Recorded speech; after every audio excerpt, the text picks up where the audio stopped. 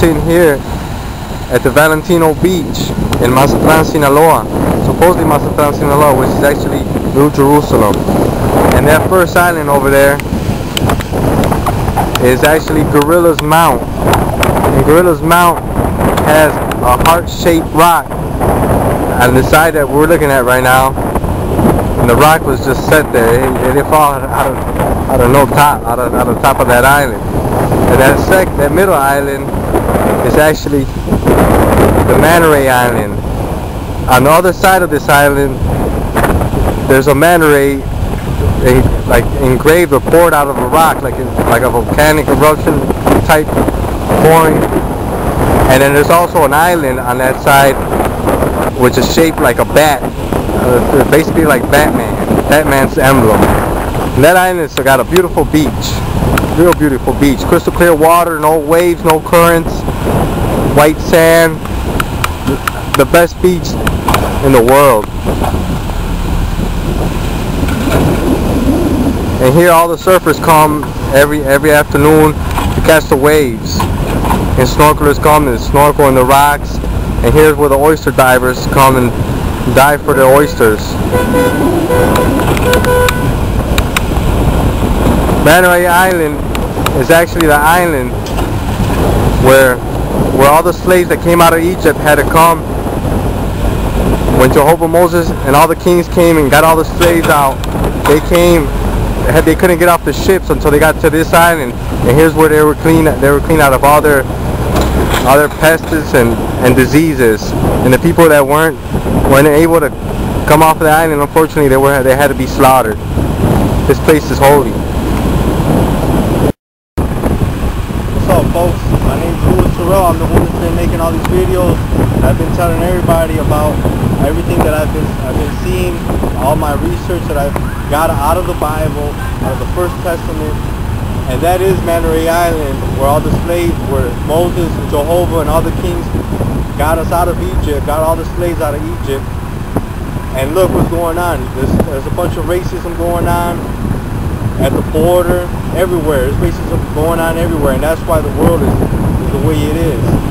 Jehovah's very mad. He's angry to see how people are segregated, you know, all, all the discrimination on the border. That, that 10, SB 1070 bill needs to be dropped ASAP as soon as possible and watch how things are going to change in this world. So everything started here, this New Jerusalem, and our Father's throne is over at the lighthouse.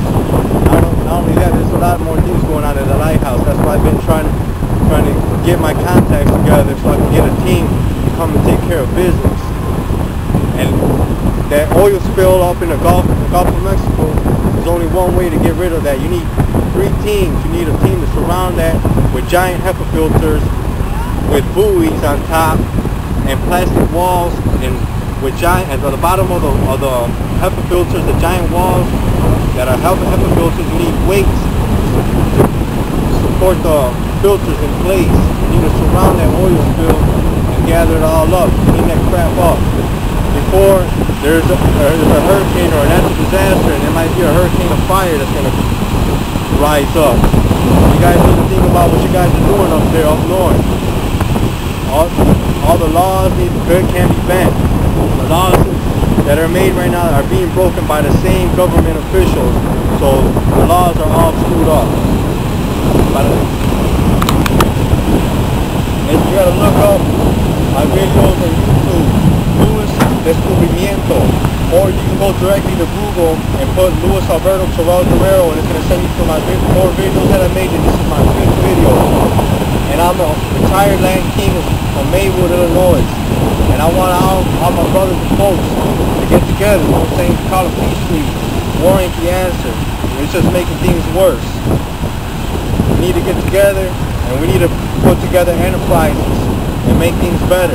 All my niggas up, I'm doing death row, you know. I love, I love. I'm trying to get y'all niggas out because y'all ain't got nothing to lose. I ain't got nothing to lose. Everything's being lost right now. Everything's all screwed up. The drug trade, it, it ain't it ain't illegal. The drug business ain't illegal. It's actually nobody puts a gun to your head and, and, and, and forces you to buy drugs. But you got people putting guns to your head, taking your hard-earned money, doing stick-ups, doing all crazy stuff. It brings more and more and more and more and more violence, more crime. So you guys need to control that drug trade. Maybe, maybe put some supported cities and say, you know what, here's where you want to be, go ahead. Meanwhile, outside, we're going to be taking care of business, doing good things for the community, painting the town, cleaning the place up. There's plenty of work. I don't know why there's so much unemployment in the United States or here in Mexico. We got so much work to do. Man. This place is a shithole. We got a lot of damn work to do. Business, for me, you know what I'm saying? So unfortunately, we're going to have to face the.